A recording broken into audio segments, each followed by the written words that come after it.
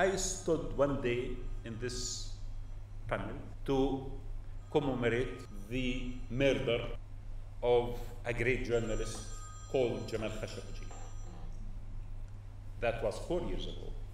Today, I stand to commemorate the death of my colleague Shireen Abu Akleh. During the last four years, a new alliance in the Middle East emerged between authoritarian regimes and the apartheid regime of Israel. Both have agreed to establish a system that dominate, suppress every call for democracy, for human rights, and for liberation. We should also be united for the sake of the future of our children and the future of humanity in order to counter that alliance of authoritarian apartheid system.